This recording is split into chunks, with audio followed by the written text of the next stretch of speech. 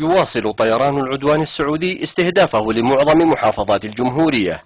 ففي صعدة استشهد ثلاثة مواطنين وجرح خمسة آخرين بينهم طفل في غارات استهدفت سوقا شعبيا بمنطقة مران في مديرية حيدان.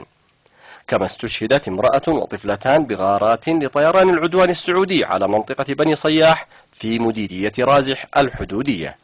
وشن طيران العدوان السعودي 18 غارة على منطقة الجبيرة ووادي آل أبو جبارة في مديرية كتاف. وثلاث غارات على شرق منطقة كتاف وست غارات على منطقة آل مجدع في مديرية باقم. وغارتان استهدفتا سوق المهاذر مخلفا دمارا هائلا في محلات وممتلكات المواطنين. كما شن طيران العدوان السعودي عدة غارات استهدفت مشروع كهرباء في مديرية حيدان ما أدى إلى تدمير المشروع بالكامل مع جميع محتوياته وأجهزته.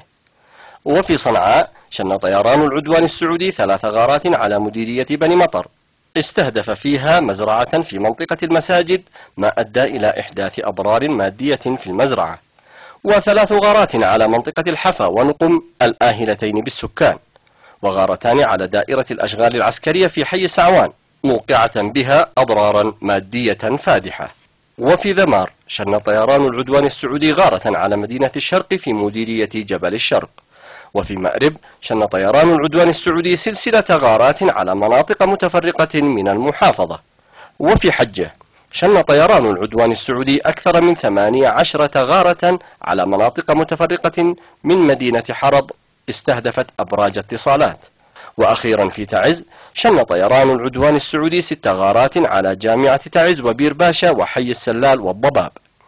وطيران العدوان يطلق قنابل ضوئية على مديرية الوازعية. كما شن طيران العدو السعودي أكثر من 35 غارة على مناطق وأحياء سكنية متفرقة.